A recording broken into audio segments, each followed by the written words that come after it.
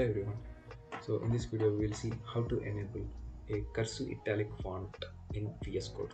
So most of you people have already seen this kind of font somewhere in the YouTube. So today we will see how to set it up.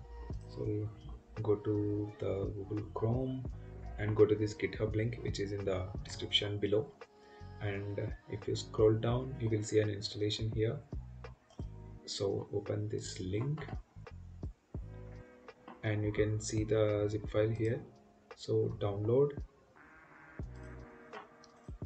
and then uh, extract it. So here you will see a ttf folder.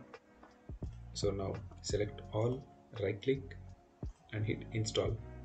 So this font is already installed in my pc so i'm just going to replace it. And yes so it will install all the fonts here. This one you can ignore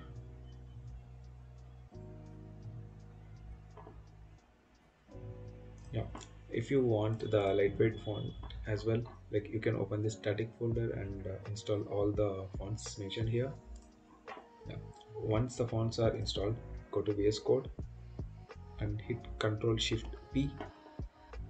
Open the user settings JSON file.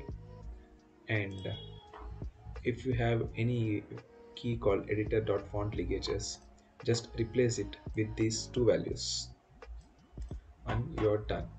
That's it. So the fonts will get converted to the cursive style. Thanks for watching